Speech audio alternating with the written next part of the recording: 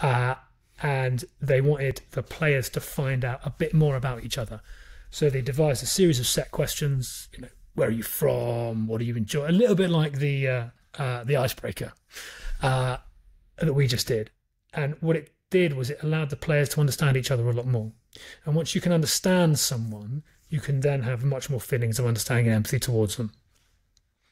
Makes total sense.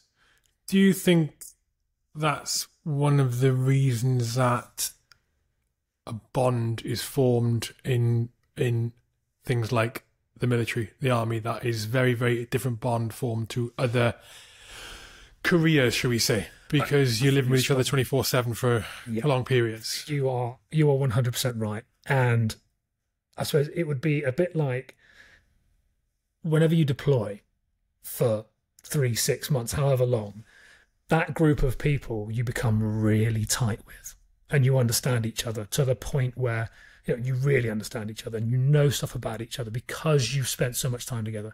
So in that instance, you have huge levels of shared experience because you're out on patrol, you're doing stuff together all the time that leads then to real because of that amount of time you're spending together really high levels of uh, mutual understanding which then if you sort of then add some empathy into that mix you have a really effective team